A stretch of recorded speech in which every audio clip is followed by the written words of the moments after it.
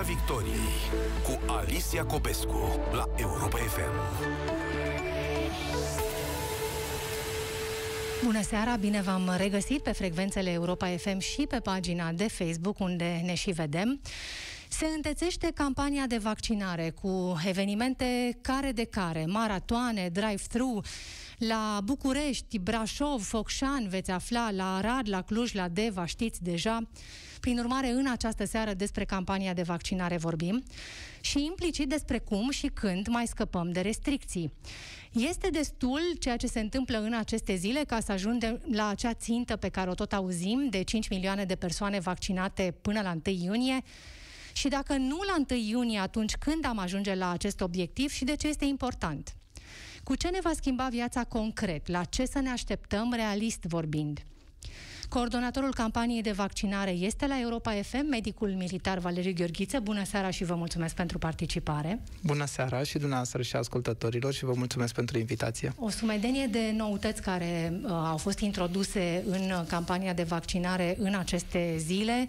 Vaccinarea din mașină, vaccinare doar cu buletinul fără programare. Asistăm la o serie de forme de uh, vaccinare care să aducă vaccinul mai aproape de oameni. Ce ziceți despre cum uh, merg lucrurile în aceste zile? Uh, pot să vă spun, de pildă, centrele de tip drive-thru erau pregătite și menționate în strategia de vaccinare încă de la momentul la care a fost elaborată, doar că, iată, acum este momentul lor uh, și anume momentul la care avem mai multe doze disponibile. Suntem deja în etapa a treia campanie de vaccinare adresată populației generale și este poate cel mai uh, bun și oportun moment să înființăm și să operaționalizăm acest tip de uh, centre de vaccinare care, evident, ușurează și facilitează accesul persoanelor care doresc să se vaccineze la aceste tipuri de centre. Ca să fie clar unde suntem acum și cât de aproape sau de departe suntem de ținta pe care o tot auzim rostită, în acest moment, um, rotunjind, avem 1.800.000 de persoane vaccinate cu ambele doze, aproximativ 1.300.000 vaccinate cu prima doză, iar ținta pe care înțeleg că ne-am propus-o până la 1 iunie și mai avem practic o lună până atunci, este de 5 milioane de persoane vaccinate. O clarificare aici v-aș ruga, 5 milioane de persoane vaccinate cu ambele doze? Uh, trebuie să avem uh, în vedere uh, vaccinarea cu cel puțin o doză. Între uh, prima și a doua doză există în general un interval de recuperare de circa 3 3-4 săptămâni, uh, însă pot să vă spun că până la finalul lunii aprilie estimările noastre sunt că vom avea în jur de 3,3 milioane, poate chiar peste, de persoane care au cel puțin o doză deja uh, administrată. Și sperăm ca pe parcursul lunii mai să mai reușim vaccinarea cel puțin 1,7 milioane de persoane încât să atingem acea bornă pe care deja premierul a anunțat-o, de la care începe concret uh, încep ridicarea anumitor măsuri progresive de restricție încât să avem o predictibilitate reală a unor beneficii în urma uh, vaccinării care să fie resimțite la nivelul societății, la nivelul întregii societăți. Cât de realizabil vi se pare acest obiectiv? Un milion și jumătate de persoane nou vaccinate în cursul lunii mai înseamnă în medie vaccinarea a 50.000 de persoane în fiecare zi cu prima doză. Um, acesta este uh, și obiectivul nostru de a avea cel puțin 50.000, 60.000 de persoane cu o prima doză vaccinate în fiecare zi. În acest sens, uh, cred că putem atinge obiectivul pe care l-am enunțat anterior. Însă, ori de câte ori să știți că vorbim de uh, dorința și înțelegerea noastră a tuturor de a ne vaccina, a importanței vaccinării, a beneficiilor vaccinării, lucrurile nu pot să fie calculate matematic. Întotdeauna va exista o variabilitate, fie de la o zi la alta, fie de la o săptămână la alta. Uh, tocmai de aceea ne interesează ca mesajul nostru uh, și anume uh, acela de uh, a ne vaccina cât mai mulți, tocmai pentru pentru a reveni mai repede la normalitate, pentru a atinge mai repede acea imunitate de grup, care să ne asigure și nouă, individual, dar și comunității din care provenim, o siguranță mai mare uh, atunci când vorbim, evident, de uh, boala COVID-19. Cred că prin diverse acțiuni de comunicare putem să grăbim acest proces de vaccinare încât în final să, să fie practic un succes pentru toată lumea. Și când vorbim de succes, de fapt vorbim de a nu mai avea oameni în spitale, a nu mai avea decese din cauza acestei boli, uh, de oameni care să se simtă mai în siguranță atunci când își vizitează bunicii, când își vizitează părinții, uh, de copii care pot să meargă la școală fără să mai existe aceste uh, restricții, aceste scenarii verde, roșu și așa mai departe. Deci cred că în felul acesta trebuie să înțelegem aceste beneficii. Ele se resimt în plan personal, pentru că fiecare avem valorile noastre, ne place să călătorim sau ne place să ieșim împreună cu prietenii sau ne vizităm părinții, familia și așa mai departe, lucruri care până la acest moment nu au fost făcute așa cum ne-am fi dorit fiecare dintre noi sau atunci când le-am făcut uh, am avut o îngrijorare foarte mare oare ce se poate întâmpla, oare se îmbolnăvește sau aflăm din potrivă că unul dintre apropiații noștri după o întâlnire s-a infectat. Cred că în felul acesta uh, toate aceste beneficii se, uh, se raportează la valorile noastre individuale, dar și la valorile noastre uh, comune. Pentru că cu toții avem valori proprii și valori comune trăind, conviețuind într-o societate. Haideți să ne gândim că ne adresăm unei persoane care încă ezită. Ar face vaccinul, da, poate nu chiar acum, da, mai așteaptă un pic. Este important totuși pentru succesul acestui demers ca vaccinarea să se întâmple mai degrabă mai devreme decât mai târziu. Deci cum ați încerca uh, să nu neapărat să convingeți, să explicați unei persoane beneficiile vaccinării, cum se va schimba viața ei dacă decide să facă acest pas astăzi? Eu cred că lucrurile au uh, uh, mai multe uh, valențe și uh, primele și poate cele mai importante sunt cele care vorbesc de profilul de siguranță, ce înseamnă, de riscul de reacții adverse, uh, de uh, eficiența vaccinului, cât de protejat sunt după ce mă vaccinez cu cele două doze, uh, mai am risc să fac o formă severă, mai am risc să ajung la spital, mai am risc să-mi pierd viața din cauza acestei uh, boli sau cât de mare mai este riscul să eu să mă infectez și să dau această mai departe, să transmit infecția celor din jurul meu, celor apropiați mie, atât din familie cât și de la locul de muncă.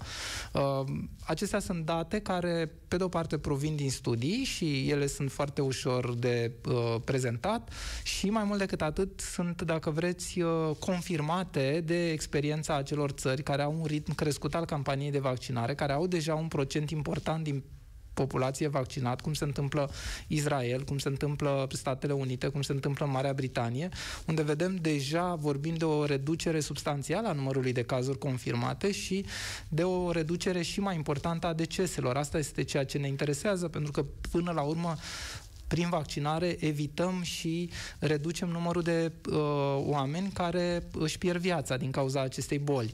Este cea mai importantă măsură. Vaccinarea evită decesele, evită pierderile de vieți omenești prin această uh, uh, boală. Una, o altă valență importantă, lăsând la o parte protecția personală față de această boală, este legată, de, cum vă spuneam, de valorile pe care le are fiecare persoană în parte. Și anume, dacă mă vaccinez, uh, categoric am un risc mai mic să mă îmbolnăvesc, implicit am un risc mai mic să transmit această infecție și dacă și părinții mei sunt vaccinați, atunci evident că noi ne putem vedea cu un risc substanțial mai scăzut ca unul dintre noi să se îmbolnăvească și să uh, dezvolte o formă gravă a bolii. Tocmai de aceea, astea sunt beneficiile, dacă vreți, în, în plan uh, micro, în planul familiei, așa cum le, le gândim. Pentru alții sunt valorile legate de călătorie, îmi place să călătoresc și atunci voi evita anumite măsuri restrictive din alte țări. Uh, pentru alte persoane, Eviți sigur carantina, că... de exemplu, dacă Eviți carantina. Sigur că se vorbește tot mai mult de acest certificat verde, care nu include doar dovada vaccinării. Alternativa va fi un test uh, care să arate un rezultat negativ făcut în ultimele 72 de ore sau istoricul ca de uh, trecere prin boală în ultimele șase luni. Uh, nu trebuie să privim vaccinarea neapărat ca pe o condiție obligatorie să poți călători, în niciun caz. Este doar unul dintre cei trei parametri care sunt luați în calcul atunci când călătorim, tocmai pentru a evita, a evita anumite măsuri restrictive. Aceste avantaje importante pe care le-ați enumerat, în funcție de ce este prioritar pentru fiecare dintre noi, um, când se pot obține, nu mă refer aici la întâlnirea cu părinții și asta confortabil, uh, întrebare, cu sau fără mască după ce te-ai vaccinat? Uh, deja sunt recomandări uh, atât ale Centrului American de Control al Bolilor, dar și Centrul European de Control al Bolilor, în care se specifică uh, faptul că un grup de persoane care sunt complet care sunt vaccinate cu schemă completă și unde există cel puțin 10-14 zile de la administrarea dozei de rapel, riscul de îmbolnăvire este semnificativ mai mic și atunci, bineînțeles că în grupuri mici, acele persoane se pot întâlni fără respectarea, fără purtarea măștii, de pildă. Uh, de asemenea, uh, chiar dacă uh, ne vedem cu tot așa în grupuri mici, cu persoane care sunt vaccinate și la care pot să participe și persoane nevaccinate, dar care au un risc mic sau foarte mic de a dezvolta o formă severă de boală, iarăși putem să, să renunțăm la respectarea anumitor măsuri de, de prevenție. Cu siguranță, pe măsură ce numărul celor vaccinați va deveni din ce în ce mai mare și nu doar acest lucru, ci și accesul la vaccinare să fie uh, echidistant pentru toată lumea, să fie egal, să nu existe aceste inechități sociale, uh, cred că uh, vor fi din ce în ce mai mult uh, luate aceste uh, decizii tocmai pentru a uh, conferi, dacă vreți, o serie de uh, uh, măsuri care să te facă să te simți mai în siguranță atunci când te vezi cu cei, cu cei dragi. Și vor fi reglementate la nivel uh, național aceste, să zicem, aceste uh, lucruri adaptări sunt... la situația... Uh... Este foarte important ca orice măsură să fie adaptată la situația epidemiologică, la tipul tulpinilor virale circulante uh, și uh, de asemenea uh, atunci când avem, repet, un acces echitabil pentru toată lumea la vaccinare, uh, cred că aceste măsuri uh, uh, sunt, pot fi luate în calcul și pot să fie implementate, însă, repet, la momentul potrivit și la momentul oportun. Socotiți că este prea devreme acum să dați, de exemplu, o utilitate a adeverinței de vaccinare, folosirea ei în anumite contexte? Nu, în momentul de față, adeverința de vaccinare, așa cum am anunțat de mai multe uh, ori, uh, are un rol medical și anume este dovada medicală că o persoană s-a vaccinat și care reprezintă istoricul de vaccinare al persoanei respective. Și cam atât folosirea ei pentru a avea acces în locurile care, exact cum menționați, pot fi dragi și de interes pentru mulți dintre cei care încă ezită dacă să se vaccineze sau nu. Este prematur să vorbim despre aceste uh, situații. La acest moment uh, tocmai pentru că nu vorbim de o situație epidemiologică controlată, uh, tocmai pentru că nu avem un număr important totuși de persoane care au fost vaccinate uh, și uh, încă mai sunt um, câteva aspecte de îmbunătățit în ceea ce privește accesul tuturor persoanelor la vaccinare. Avem de amplificat o campanie de comunicare, de informare.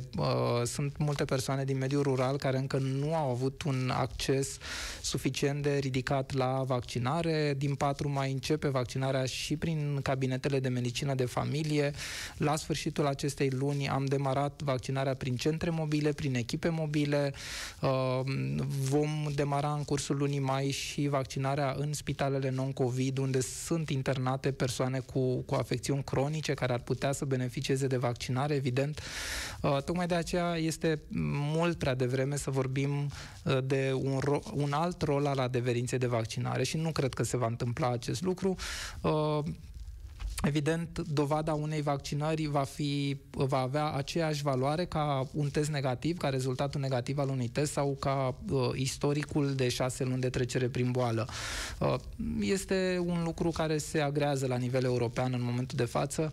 Se tot vorbește de acest certificat verde în ideea în care persoanele care îndeplinesc acele una dintre, cel puțin una dintre aceste trei, acele trei criterii, uh, sunt persoane care au un risc semnificativ mai scăzut să fie fie purtătoare a virusului și să transmită mai departe. Ați făcut o legătură între uh, relaxarea unor restricții vaccinare și nivelul la care, este, la care suntem din punct de vedere pandemic în acel moment. Unde ați spune că suntem cu pandemia acum, domnule doctor? Este, uh, este din ce în ce mai evident că avem o scădere constantă a numărului de cazuri, însă numărul persoanelor din terapie intensivă este în continuare crescut și reprezintă, dacă vreți, uh, este un recul al perioadei uh, din săptămânile anterioare în care am avut un număr în creștere, un număr mare de cazuri. De asemenea, din ce am observat din practica de zi cu zi, parte din persoanele care au ajuns la spital cu forme grave erau persoane care au fost uh, la domiciliu și care au stat multe zile înainte să solicite un consul medical uh, cu tratamente mai, mai mult sau mai puțin conduse sau supravegheate de un cadru medical și mai de aceea este bine să ținem legătura cu medicul de familie atunci când suntem diagnosticați cu infecție SARS-CoV-2. Însă uh, dacă se va menține acest, uh, această evoluție uh, favorabilă a numărului de cazuri și a anume o scădere din ce în ce mai uh, mare, uh, eu cred că ușor, ușor începe să scadă și presiunea de pe, de pe spitale. Uh, sperăm să avem o reducere a numărului de decese, pentru că acest lucru ne deranjează foarte tare. Și um, din momentul acesta cred că uh, și vaccinarea, spune cuvântul, prin faptul că totuși vorbim de peste 3,2 milioane de persoane vaccinate, ceea ce nu e puțin.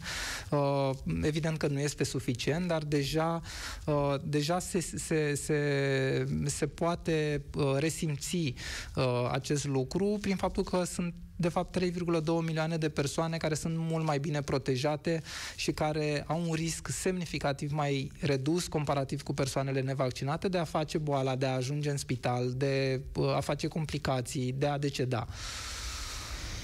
Uh, puneți foarte mult accentul pe acest aspect, faptul că vaccinarea previne o formă gravă a bolii și chiar decesul. Mulți își pun semne de întrebare legate de eficiența vaccinului când află inclusiv din prezentările pe care le faceți săptămânal, că zeci de mii de oameni deja vaccinați au fost depistați cu SARS-CoV-2. Um, ce explicație Uh, le oferiți și cum puteți să... Uh, Procentul să persoanelor care au fost testate pozitiv, uh, de pildă după cea de-a doua doză, este unul foarte redus, 0,2%, ceea ce înseamnă două persoane din 1000 de persoane, din alte 1000 de persoane vaccinate cu cele două doze, care au avut un test pozitiv. Aceste date nu spun nimic despre gravitatea bolii pe care au dezvoltat-o. Majoritatea sunt cazuri asimptomatice care sunt depistate pozitiv pozitiv în urma unor testări de rutină cu diverse ocazii. Sunt diverse activități care presupun testarea periodică. Um, și mult mai puține dintre aceste cazuri sunt cazuri care erau simptomatice și care au impus, evident, testarea în scop de diagnostic și nu în scop de screening. Um, de aceea, dacă comparăm cu ce se întâmplă în restul populației nevaccinate, evident că uh, vorbim de beneficii uh, importante importante. Uh, și acest număr de cazuri, atunci când te raportezi la aproape 2 milioane de persoane vaccinate cu schemă completă, sunt deja aproape 1,9 milioane de persoane, uh, acest procent este unul, desigur, uh, foarte mic, uh, plecând de la simplul fapt că nu există un vaccin care să ofere 100% uh, protecție și asta provine din faptul că avem un procent mic din populație, circa 5%, care sunt non-responsivi, adică nu dezvoltă un răspuns imun protector după niciun tip de vaccin, nu doar după vaccinul împotriva COVID-19, nu dezvoltă un răspuns imun protector doctor nici după infecția naturală, nici după boala naturală și sunt persoane care au risc de reinfecție. Tocmai de aceea uh, acest, uh, dacă vreți, uh, risc de a nu dezvolta un nivel suficient de bun al răspunsului imun, un nivel optim, este pe de-o parte, uh, dat de construcția biologică a organismului nostru, pe de altă parte sunt afecțiuni care uh, induc, afecțiuni dobândite sau diverse tratamente care uh, reduc uh, răspunsul imun după o, o, orice tip de vaccin. Și aici vorbim de afecțiunile care evoluează cu scăderea gravă a imunității, pacienții care sunt la scurt timp după tratamentele citostatice, de pildă pacienți cu boli oncologice, uh, pacienți care fac tratamente uh, care scad foarte mult imunitatea. Tocmai de aceea sunt persoane care au categoric indicație să se vaccineze, însă aici trebuie ales momentul potrivit, adică nu în plină perioadă de tratament citostatic, ci la o perioadă de 2-3 săptămâni după ce am terminat cura de chimioterapie. Și așa mai departe, tocmai pentru a da șansă organismului să fie în perioada în care poate să dezvolte un răspuns imun cât mai ridicat. Și al doilea mesaj, mai ales la aceste persoane vulnerabile, este legat de uh, continuarea respectării cu strictețea măsurilor de prevenție până la uh, momentul evident la care atingem acea imunitate de grup. De ce ar fi important această, acest prag? De ce? Pentru că la acel moment șansa să ne mai întâlnim cu o persoană purtătoare de virus scade foarte mult. Când vorbim de imunitate de grup de 70%, înseamnă că din 10 persoane, 7 sunt vaccinate, sunt protejate și probabilitatea ca două, o persoană uh, care e nevaccinată să se întâlnească cu o altă persoană nevaccinată care are virusul scade foarte mult. Asta, prin asta înțelegem noi beneficiile aduse de imunitatea de grup. Spuneți că am putea renunța la mască abia când se vor fi vaccinat 11 milioane de români? Um, Sigur că se iau în calcul diverse scenarii. Vedem ce se întâmplă în Statele Unite, unde uh, persoanele vaccinate pot să renunțe, sigur, în spații exterioare, la uh, purtarea măștii. Deci sunt uh, clar o serie de măsuri care se impun, mai ales când ne apropiem de acel uh, prag al imunității de, de grup, care se obține, să înțelegem, doar prin vaccinare.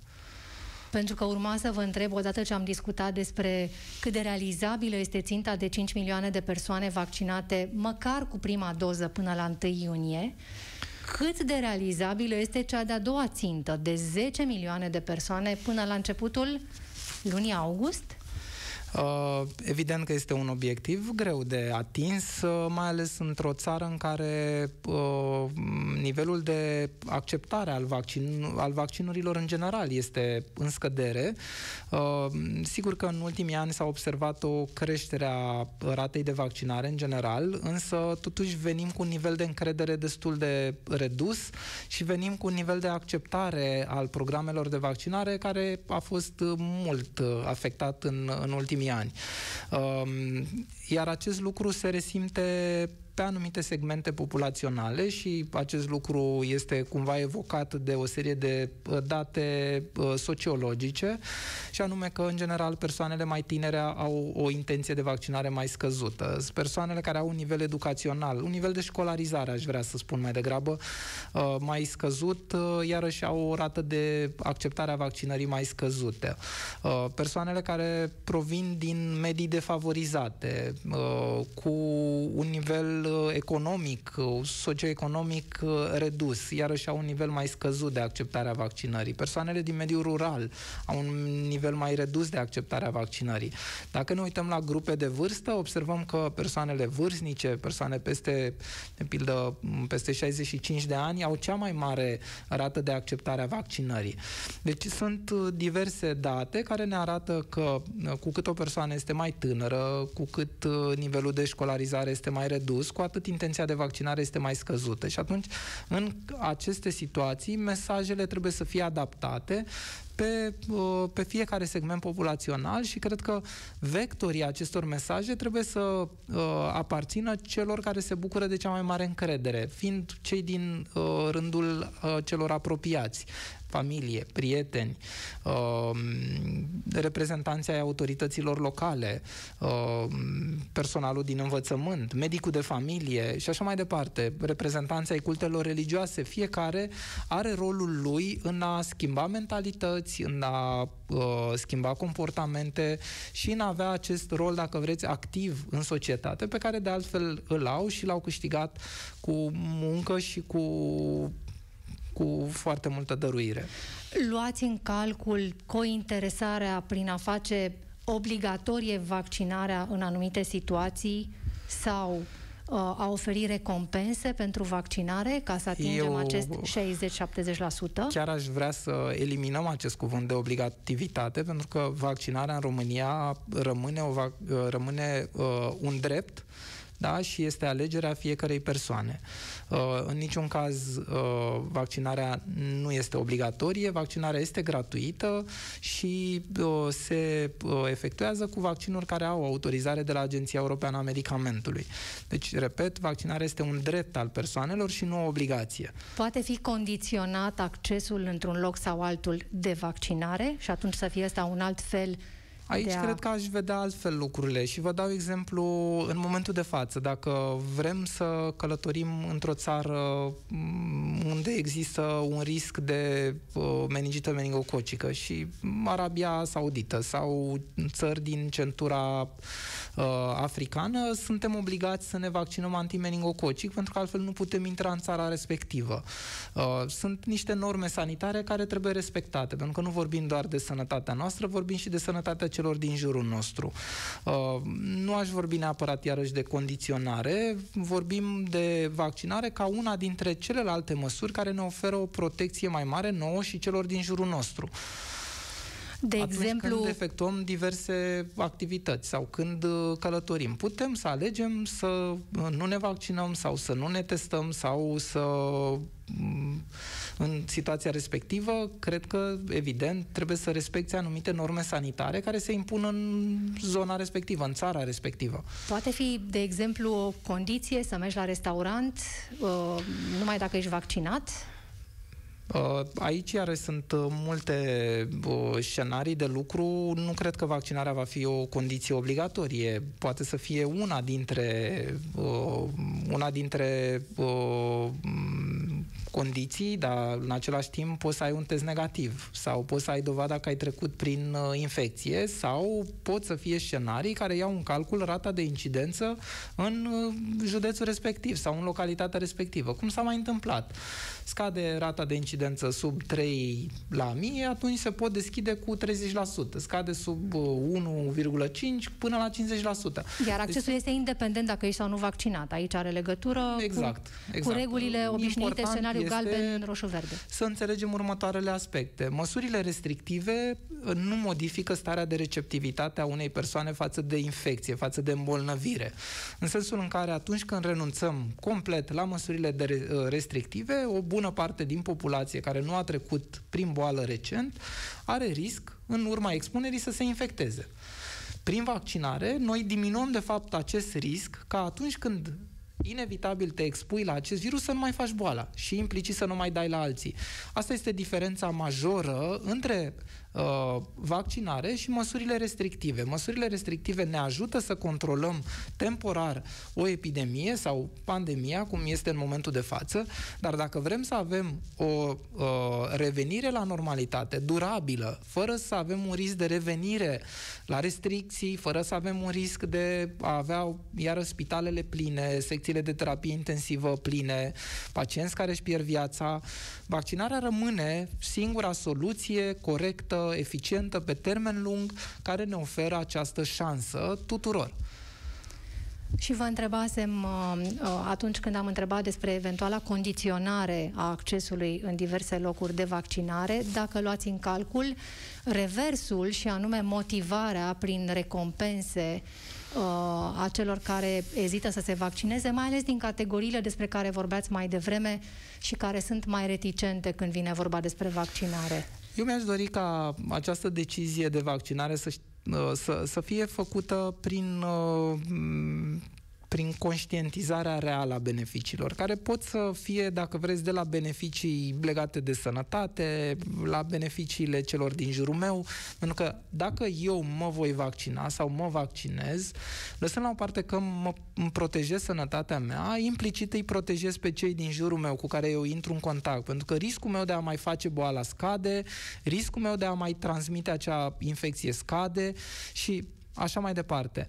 Uh, în felul acesta, cred că putem să, să vorbim, de fapt, de protejarea comunității, pentru că această pandemie ne-a arătat că nu putem trăi de... Uh, că tot ce se întâmplă în societate se, răsprân, se răsfrânge asupra fiecăruia dintre noi și atunci, prin vaccinare, în momentul de față, de fapt, revenim împreună.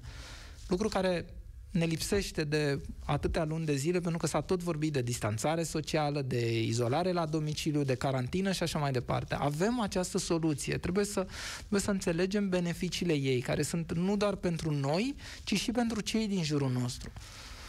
Pe de altă parte, spuneați că sunt categorii importante de, de oameni care sunt reticenți când vine vorba despre, și ați descris, practic, probabil mai mult de jumătate din populația României. Aveți date pe marginea, pe baza cărora lucrați? Sunt studii făcute cu privire la câți din români sunt Uh, vor să se vaccineze anticovid? Este un procent estimat la circa 50%. Uh, more or less aș putea spune că uh, o treime dintre persoane sunt convinse și decise să se vaccineze, vorbind de circa o treime dintre persoane care sunt ezitante încă, și, dar sunt preocupate de subiectul vaccinării și așteaptă mai multe informații tocmai pentru a decide ce vor face și aproape o treime dintre persoane care sunt hotărâte să nu se vaccineze. Dar totuși vorbim adunat de circa 60-70% dintre persoane unde am putea să, uh, să uh, ajungem și să uh, fim convingători de be- cu vis-a-vis de beneficiile vaccinării.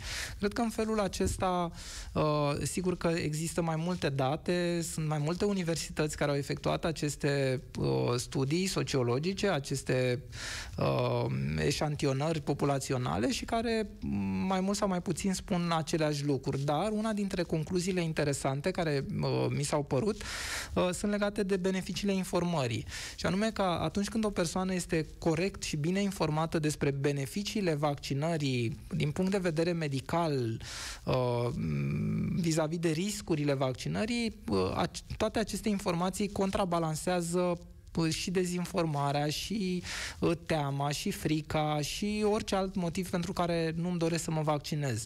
Pentru că dorința de a nu te vaccina uh, este de multe ori constituită din motive care nu sunt suficient de consolidate, dacă vreți, cu argumente. Uh, sigur că există un segment populațional la care va fi foarte greu de schimbat această uh, opțiune de a nu se vaccina, dar acolo unde oamenii realmente reclamă acest lucru, că au nevoie de mai multe informații, cred că e de datoria noastră să oferim acele informații cât mai repede și printr-un mesaj care să fie ușor de înțeles. Valeriu Gheorghiță, mulțumesc tare mult pentru prezența în studioul Europa FM și participarea la emisiunea Piața Victoriei. Încheiem cu informațiile actualizate trimise de grupul de comunicare în privința vaccinării. Până în acest moment, 1.880.000 de români au fost vaccinați cu ambele doze și 1.320.000 cu prima doză. În ultimele 24 de ore s-au făcut aproape 84.000 de vaccinări.